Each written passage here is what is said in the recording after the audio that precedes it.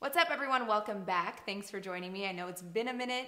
It's so hard for me to figure out what kind of makeup looks to do, so I just figured if I have to go somewhere and I have to do a makeup look, I'm just gonna film it. So today I'm actually going to a wedding. I'm going to my cousin's wedding, so I decided to do a guest of wedding makeup look. What's important with this look is just making sure that it shows up on camera. Obviously, we're gonna be taking lots of pictures, that it lasts all night through lighting, sweat, everything. So just stick around to see how I created this look. So actually good news for my channel.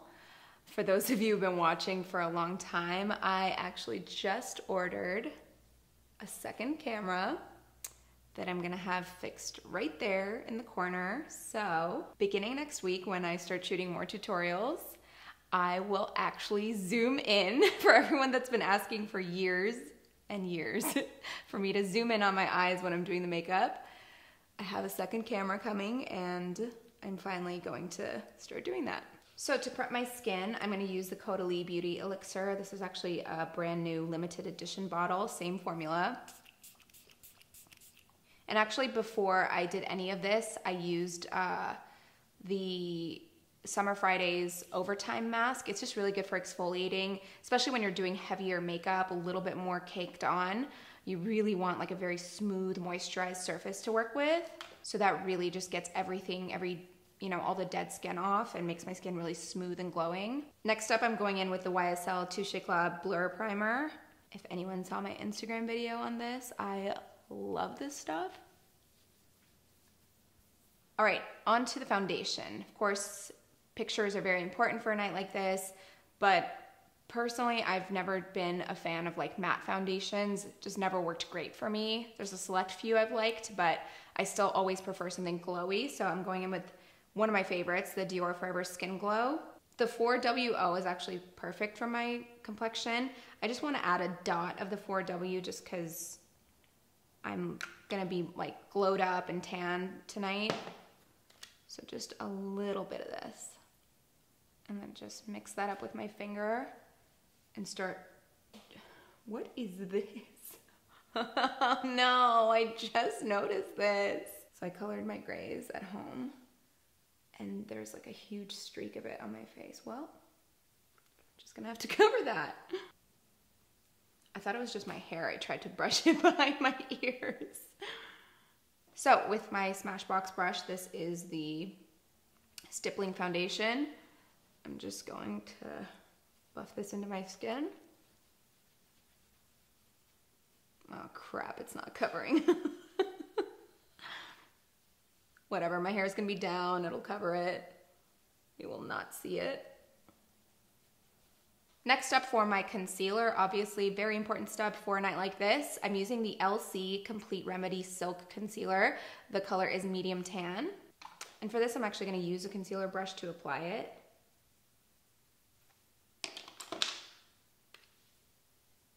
Really nice, good coverage uh, concealer. And you know, because it's a wedding, because there's gonna be photos, I'm kind of really going for it with concealer. All right, so going in with my favorite concealer brush. This is again by Smashbox, the Cream Cheek. This is the ideal type of brush for blending out concealer because it's, it's basically like a kabuki brush. It's very densely packed. So really good for that airbrush finish. Personally, this is my favorite part of seeing the makeup come together. The minute that concealer goes on, you really start to see how it's all looking. All right, so plenty of brightening down the center of the face. So now we're gonna do some receding with uh, some contour. I'm gonna use the Contour Wand by Charlotte Tilbury. This is probably my favorite contour product right now. The color that I'm using is the medium dark. I also have the fair medium, which usually works really well, but since I'm going a little darker today, we're gonna go with this one. Get the jowls. Back to the foundation brush, I'm just gonna use the same one to blend this out. So what I like to do first is kind of just blur out the um, the contour, not blend it completely just yet. I know that sounds strange, but I kind of want that shape to set first. So I'm kind of just leaving the line, like I said. just for a couple seconds while I, you know, blend out the rest of it. It kind of just leaves a little trace of that line behind so you get a really nice sharp contour. Clearly different from what I normally do with makeup. It's not that natural, but again, for photos, for special occasion, it works. So now I'm just gonna blend that out a little more. So you see, you just kind of see a, a hint of that line left behind where you wouldn't really get it if you just blended it all the way out in the beginning. Is kind of a little trick I've been using lately. All right, we're in good shape. We've got a nice highlight and contour going. So from here on out, I'm gonna start using all the powders. I definitely wanna set this. So I'm gonna go in with the um, Perfect Setting Powder by Cover FX. This has been, I mean, if you watch my videos, it's been one of my favorites. So I'm taking kind of a good amount of this stuff and I'm just gonna, this is nothing you haven't seen before. I just don't do it often. So what I just did is I tapped the brush so that I get the excess off and then use whatever's left to just lightly set the rest of your face. So I'm just gonna let that sit for a second while I go into a little bit of, a little more contour and a cheek color. So I'm using the Smashbox um, Buildable Cheek Brush. And this is the Charlotte Tilbury Glowgasm palette. I'm gonna start with the contour shade. Just adding a little more depth, a little more warmth. We already have plenty, but just for pictures, sometimes you'll notice, this is why I like to start with a darker foundation to begin with. You'll do your makeup, you'll look great in the mirror, and then you go to take pictures and you look like a ghost make sure make sure you're not starting with a white base and then trying to warm over warm up over it. You really should should start off with a probably like half a shade to one shade darker than your complexion so that you can do all of this, all of this lightening in the middle. So that's what pops in the pictures. That's what looks light.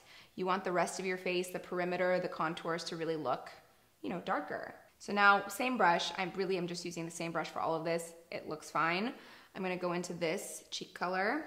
Lately, this has been the only palette I use for my full face. Once I get the, you know, the foundation and the concealer on, it always looks beautiful no matter what kind of look I'm doing. See that cheek color is so nice. So now I'm going back to that setting powder brush. I'm just going to wipe away all of this. So this is gonna keep my under eyes in good shape all night. So now, again, with this brush, I'm just gonna kind of blend these two highlights, a little bit more of this one actually, and go in there and just bam. Ugh, so pretty. I love this palette. It's really such a good kind of all-in-one for the face. All right, so moving on to the eyes. So I did my mom's makeup this morning and I loved how it turned out. It looked so good. So I'm basically trying to do the same thing to me. Um, I use this palette by KKW. It's um, it just says KKW eyeshadow palette. There's no other name on it. I think it might have been one of the first ones. Anyway, I'll call out the names as I'm applying. So beginning with a blending brush, I'm gonna go in with this color right here. And this is called Calabasas, right? Yeah, nope. Florence. It's called Florence. Sometimes I don't know if it's flipped or if it's behind the pan. I think it's Florence, yeah. So this, I'm just gonna work right into my brow bone and actually above the brow bone because this is just gonna help me blend up with the other colors. Really good, super soft, neutral transition shade. And actually, this is, depending on what your style is as a bride, this could potentially be bridal makeup too, if you were doing your own makeup. All right, next up, same brush. I'm going to use this shade right here. It's like a dusty rose and it's called Selfish. So this I'm kind of just working a little bit into the lid, but also still in the crease. So I'm just starting at the outer corner of my lid and just blending inward. So I'm mixing these two shimmer shades with my finger. This one right here and this. And those two colors are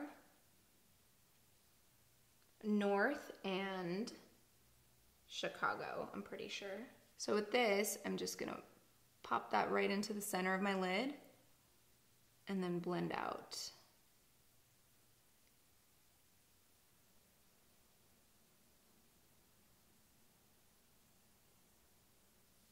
So now going in with a more kind of concentrated brush, I'm gonna go in with this shade right here. It's like a matte brick. And the color is Family. So this is gonna be our contour shade. This is really gonna define the crease. So again, really just starting at that outer corner and then windshield wiper your way across the crease to really just deepen that color. So the darker the shades start to get, the less area we're covering. Just remember that with basically any makeup look. So then now with that same brush, I'm gonna go into this deepest shade right here not taking very much, and that is Gemini. We're doing the same thing, but just a little bit less. Like I'm not putting as much on. All we're really doing with this is adding a contour to the lids.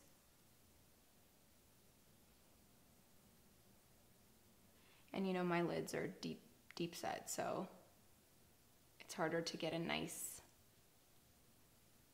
kind of like uniform, perfect blend feel like you can get that much more with like a mono lid. And again, every time you add a dark shade, just make sure you're going back and blending. And again, same thing, using just the very tip of this brush to add the dark shade across the crease. We're really just focusing it on that outer corner. So before I hit the bottom lash line, I actually wanna go right into the liner. I'm gonna use a brown and a black liner because like I said, for weddings, I just like a softer look, even though we're going a little more dramatic. Uh, so the blending of the brown and the black is just gonna make it appear a little softer, not so harsh. So I'm taking the Persona um, 24 hour lip, uh, lip eyeliner in brown. So this, I'm gonna focus most of it on this outer corner here just kind of messy, just rubbing it in there. And then using a smudge brush to shape it up and smudge it out. Okay, so now that we have the brown liner on, I'm gonna go in with black. This is Obsidian by Hourglass, the 1.5 millimeter pencil. My probably all-time favorite black pencil. So this, I'm gonna just go right at the just right at the lash line. This is a very soft and blendable black.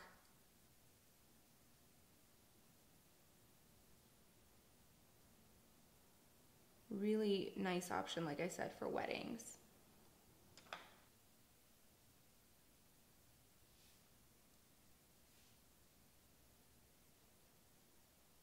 One more time, I'm gonna go into North and Saint.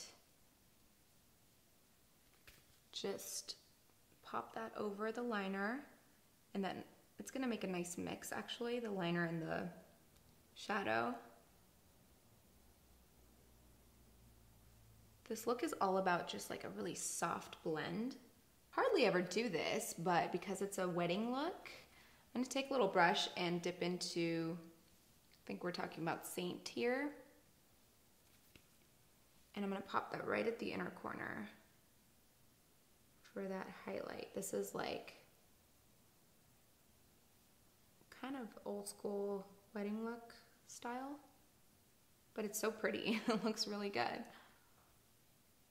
All right, so now we can actually go down to the bottom lash line. With that same brush, I'm gonna dip into North. And I'm just gonna run that along my bottom lash line. I'm literally gonna show up to this wedding with the same makeup as my mom. like every step I did exactly like I did hers this morning. All right, I think we're in good shape now. So one more time with that Hourglass pencil, the black. I'm gonna run this just along the inner part of my top lash line.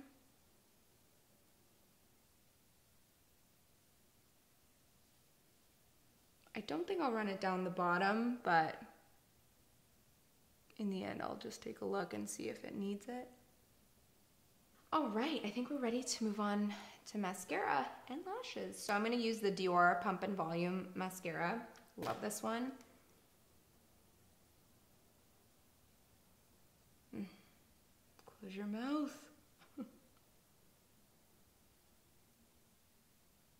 Honestly, this could easily be a bridal look. So I am going to add some lashes. I'm going to go with the Demi Wispies by Ardell. But you know, I always cut them. So, and I'm typically cut them at the longer end. So I'm just going to take this strip here. And just going to snip off this little bit here. And for lash glue, it's always been my favorite, the Duo Dark Tone just gonna lower that onto my lash line.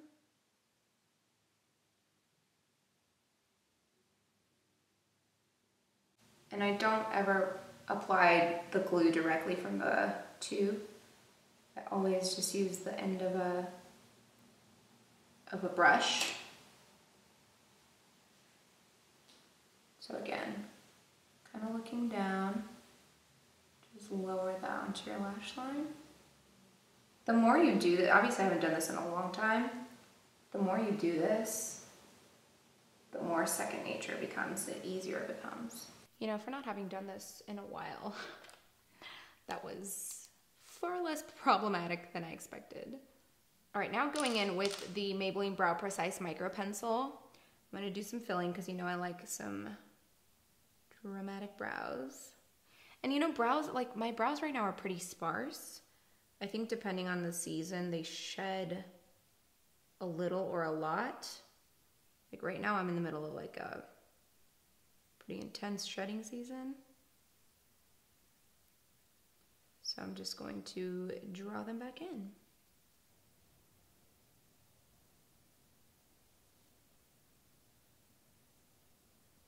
All right, that looks good. So now I'm just gonna set my brows with my favorite, I don't think they make this anymore, I think. I think they discontinued it, but it's the Brow Precise Fiber Volumizer by Maybelline.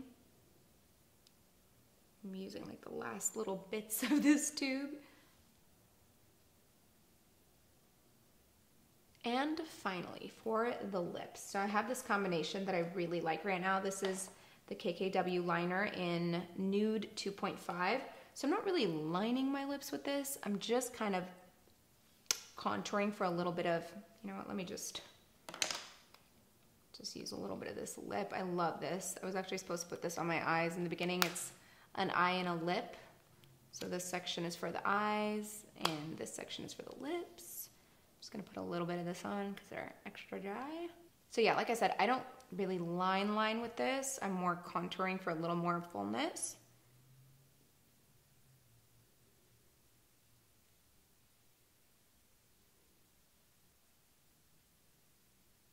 Because this side is skinnier than this side too. So now using Hepburn Honey by Charlotte Tilbury, really gorgeous color. It's like a honey nude. And it's gonna in and apply this directly.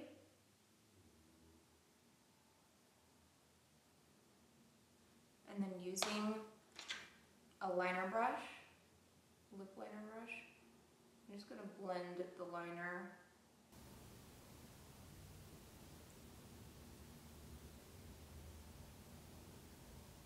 So that's it for this look. Like I said, guest of wedding look. Could be a bridal look if you wanted it to be, but just a nice, pretty neutral blush tone look. Hope you guys liked it, and of course I will see you in my next video. Thanks for watching.